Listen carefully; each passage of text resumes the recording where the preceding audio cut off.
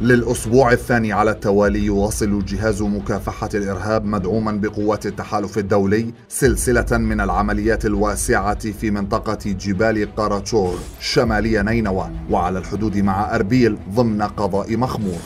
تضمنت العمليات إنزالا جويا وضربات للتحالف الدولي بلغت أعلاها يوم الخميس الماضي إذ شن التحالف ثلاثين غارة جوية وذلك بحسب بيان عراقي رسمي. قال إن تلك الغارات استهدفت معاقل ومخابئ لمسلحي تنظيم داعش الإرهابي في سلسلة جبال قراتشوغ التي تقع إلى الجنوب الشرقي من نينوى بنحو 65 كيلومترا ويصل طولها إلى قرابة 40 كيلومتر. يبلغ أعلى مرتفع في قمم جبال قراتشوغ حوالي 2100 متر ولها تسعة مرتفعات كل واحد له اسم. وفيها قرى كثيرة ومختلفة مثل داري وزود وتافان. وتتميز بصعوبة تضاريسها وكثرة الكهوف والملاجئ والممرات الجبلية فيها والتي يصعب على السيارات والآليات العسكرية التقدم خلالها. مسؤولون عسكريون في بغداد قالوا إن جبال قراتشوغ هي من المناطق الحدودية بين إقليم كردستان ونينوى وتصنف ضمن المناطق المتنازع على إدارتها بين بغداد وأربيل. وباتت ملاذا جديدا لإرهابي تنظيم تنظيم داعش ويعتقد أن قسما من عناصر التنظيم قد دخلوا العراق مؤخرا قادمين من سوريا واحتموا في الجبال كملاذ مؤقت لهم أو كمنطلق